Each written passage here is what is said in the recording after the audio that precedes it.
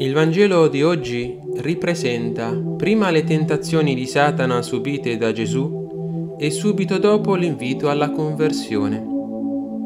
In queste poche righe della parola di Dio possiamo leggere l'invito ad orientare la propria vita secondo le indicazioni del Signore, proprio come indicato nel Salmo 25.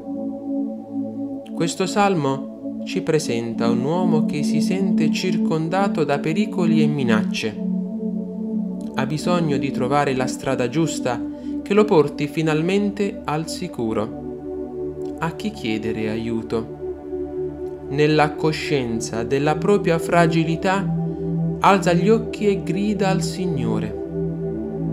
L'esperienza del camminare è l'occasione di una nuova intimità con Dio di abbandono fiducioso al suo amore fedele, nonostante la propria infedeltà.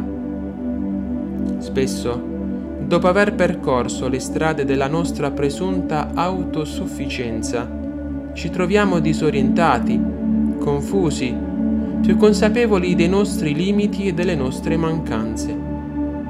Vorremmo ritrovare la bussola della vita.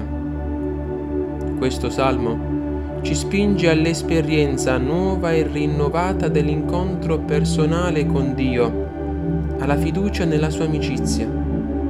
Ci offre il coraggio di essere docili ai suoi insegnamenti che ci invitano costantemente ad uscire da noi stessi per seguirlo sulla via dell'amore che egli stesso percorre per primo per incontrarci.